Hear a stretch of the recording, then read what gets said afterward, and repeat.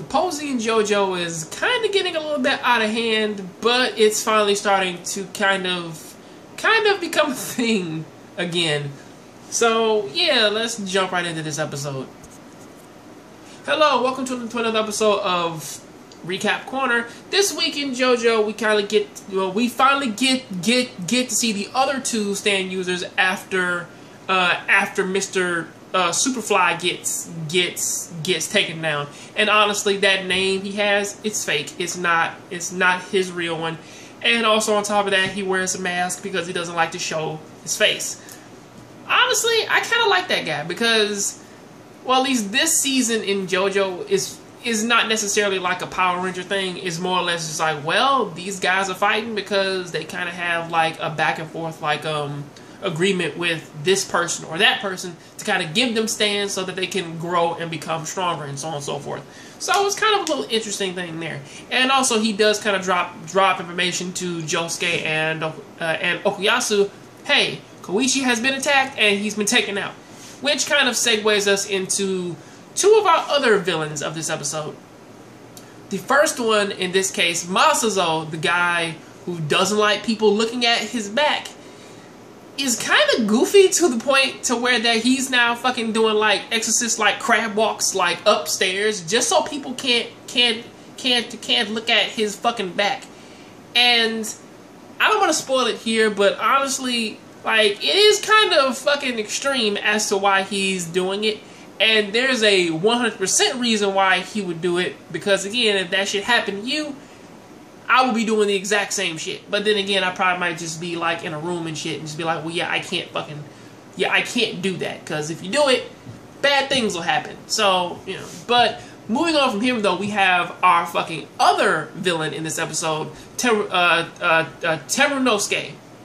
A man who, who pretty much is that, uh, is, uh, is that guy who loves to just wait and scare you so that so so that when you are scared, he can just use your fear and hit you with like his fucking like um uh his fucking uh, unbeatable or invincible attack. In this case, his stand Enigma. They didn't say it in the anime, but of course, like of course, like you know, if you know if you've been with the series man for so long, you kind of just know it. But still, Enigma is something like it's something like the D'Arby stands, except for it's kind of just circled around the fact of if he if he scares you and he knows your trigger upon like uh like what your body does like when it like like when it like when it's scared then he can use that to his advantage and sick his stand on you. And once he knows it in this case uh is Josuke's mother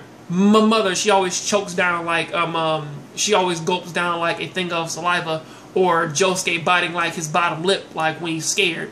And when he's 100% sure of that, his stand practically takes care of the rest and traps you like in a piece of paper. You know, which that in which that he can just fold and carry like in his fucking pocket. The interesting thing though is that he kind of looks like a magician doing that shit because he also pulls out like hot um like like hot tea and um uh and a biscuit and shit. Like it's kind of crazy you know, like his stand would be really good, good at uh, at at making money. So I will, so I will say that. However, I don't know.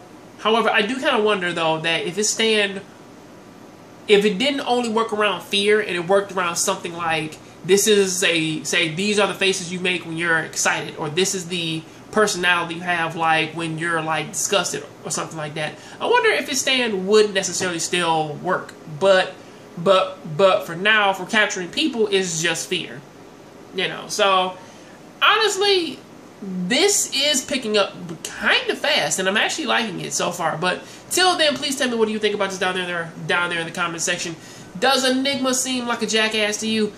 He kind he kind of does. I mean, honestly, I even like like like the fact that they got um, uh, that they got Fuma in this mug mug actually uh, working out really good good because his sense of smell is pretty accurate. you know, to whereas that he can like smell he can smell his girls coming up say like getting off the elevator, walking across say say say walking like a floor below or above them, and even knows that they went to the fucking pachinko parlor. Like, dude, like that's a nose, man. Like a bitch can't lie, man, doing that. Say, say, man, doing that shit. Did you say, oh my Jesus, did you cheat? Say, um, uh, did you have a cheat day? No, I didn't. Bitch, I smell chocolate on you. What? You do? you know.